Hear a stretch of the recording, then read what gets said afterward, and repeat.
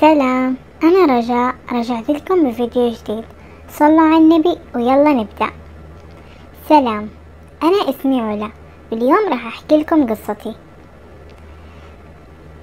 أهلي قرروا إنهم ينقلوا في مدينة جديدة. وبالتالي أنا نقلت من مدرستي القديمة لمدرسة جديدة. كنت بثاني متوسط.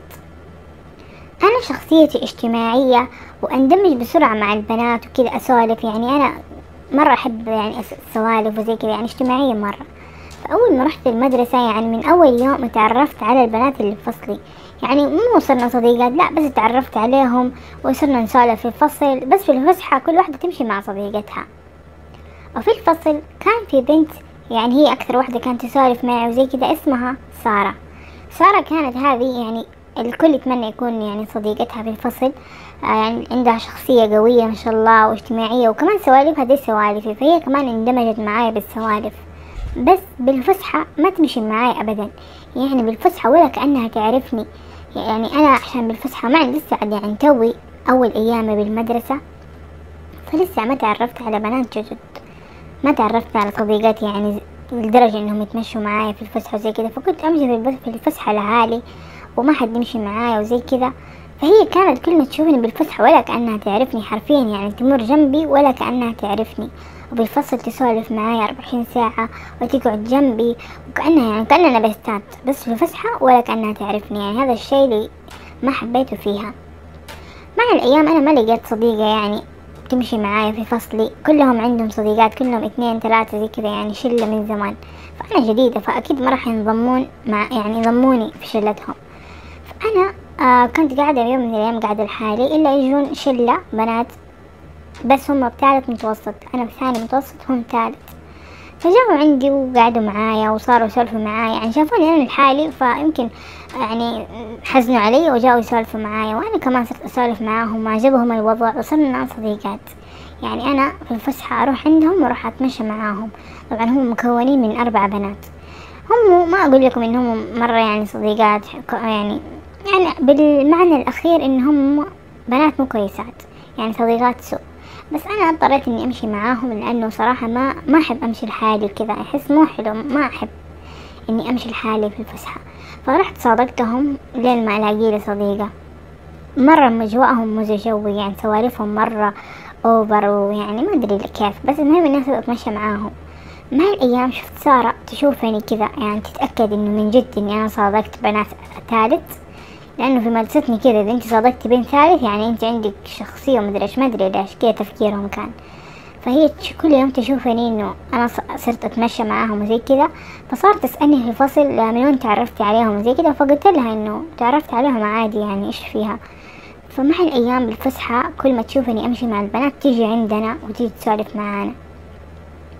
طبعا البنات اللي الثالث ما عجبهم الوضع ولا عجبهم شخصية سارة وكل ما يشوفوها معايا يهجوا. وأول ما تيجي سارة تشوف إني أنا لحالي كمان تهج يعني ما تبي تقعد معايا. إذا شافتني مع بنات ثالث تيجي عندي.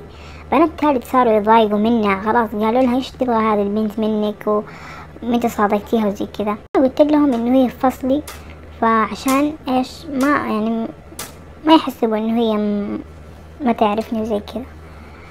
المهم مع الأيام آه، أنا والبنات الثالث هذول صار بيناتنا مشكلة كبيرة. ما راح أقول المشكلة بس إنهم اتهموني بشيء مرة قوي في هذاك اليوم.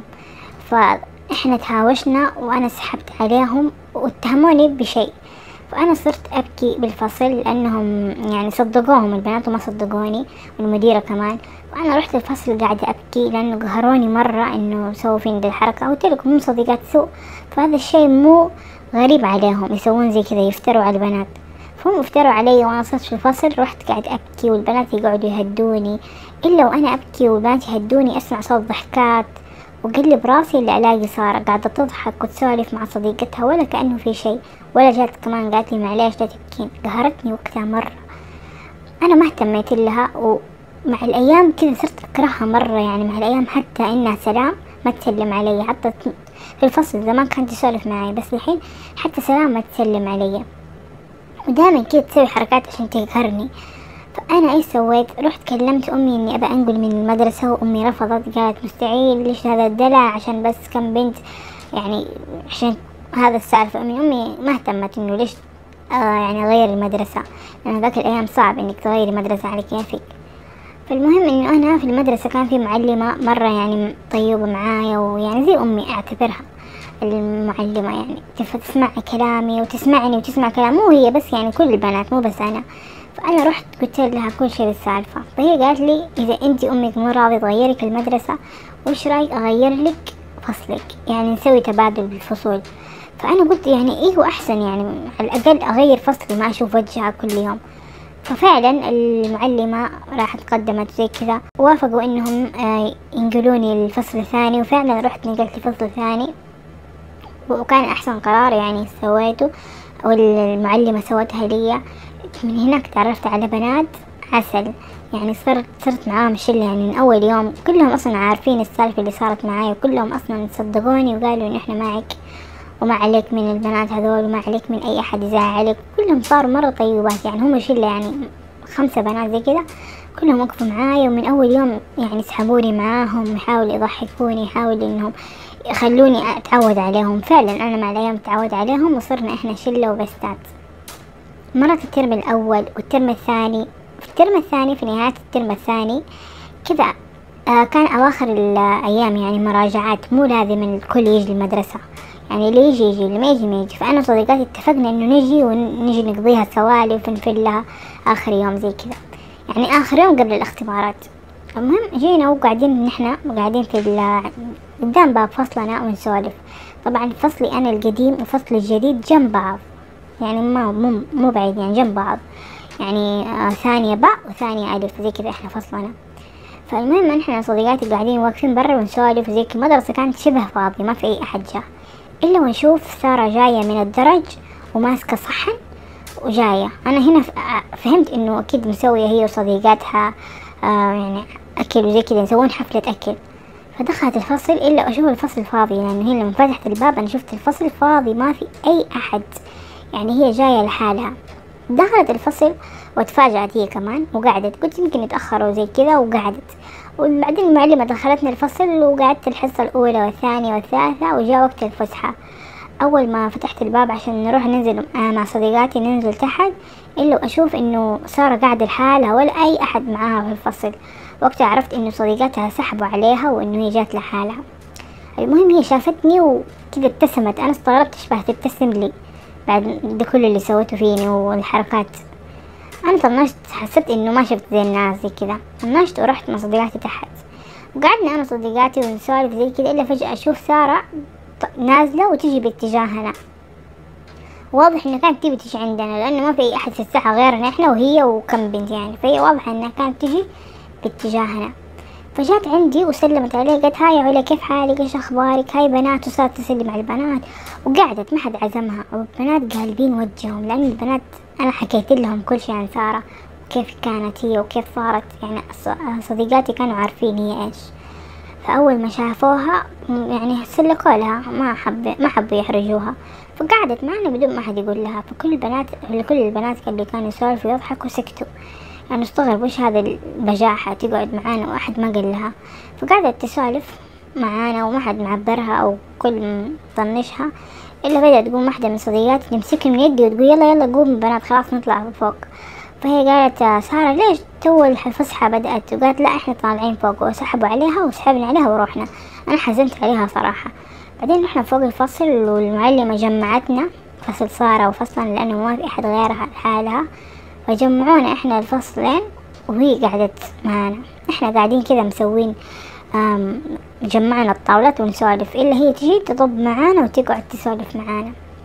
وقت البنات ما قدروا يتحملوا فقالوا إيش إنه عندنا إحنا اختبار وزي كذا قاعدين نراجع. فهي قالت أيوه عادي أراجع معكم. فما حد يبي يسوي شيء ما حد.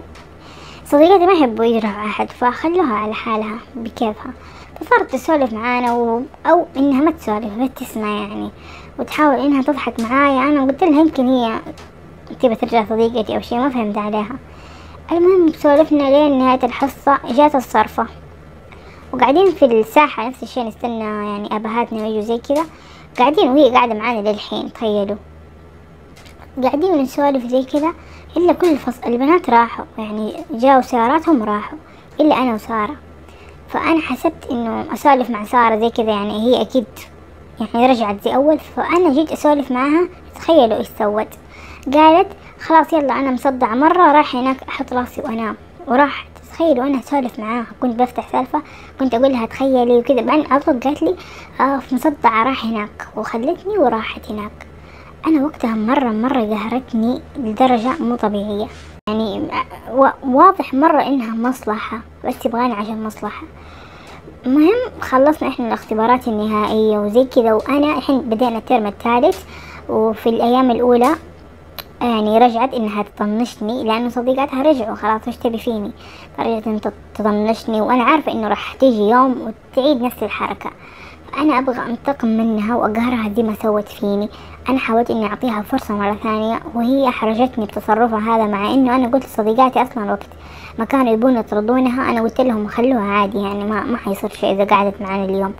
فهي فضلي إنها أحد أعطاها وجه. فهي لما سوت فيني زي كذا أنا قهرتني مرة وأبغى أرد لها الحركة. فأنا صراحة الحين محتار أرد لها الحركة ولا أخليها يعني؟ ما أدري أنت قولوا لي إيش أتصرف معاها هذه البنت؟ لأنه أنا الحين في صف ثاني في الترم الثالث وفي باقي سنة كاملة راح أشوفها وأكيد راح تعيد نفس الحركات. فما أدري أنا إيش أتصرف تجاهها لأنه أنا صراحة للحين أحسها إنه أبقى أكون صديقتها للحين إني أنا أبى أعطيها فرصة بس هي ما تستاهل بس أنا بأمنع نفسي إني أعطيها فرصة وأبغى أنتقم منها بنفس الوقت. فأنتوا قولوا لي إيش تسوون لو أنتوا كنتوا في مكاني؟ وبس كان هذا قصتي. صراحة لو أنا كنت في مكانك ما راح أطنشها وإذا جات عندي مرة ثانية راح أطردها. هذا هو الانتقام اللي تسويه. إذا هي جت مرة ثانية لعندك اطرديها. لا تعبريها ولا شيء اطرديها هذا هو الانتقام. تستاهل لأنه هي واضح إنها مرة مصلحة هذه البنت. عندك شلة الله يعني أعطاكي بدل واحدة أعطاكي شلة. فإيش تبغي منها؟ طنشيها مع نفسها. يعني أنت غيرتي فصلك عشانها بسببها. في النهاية تبي ترجعي تصادقيها؟ والله. انتبهي منها هذه واضح إنها علاقة سامة يعني صداقة سامة ما أدري يسموها. وبس لو عجبكم القصة لا تنسون تضغطون زر اللايك وزر الاشتراك وفعل زر الجرس عشان يوصلكم كل جديد. وتابعوني على الانستغرام. وإذا عندكم أي قصة طويلة أرسلوها لي على الانستغرام. وبس أحبكم. باي.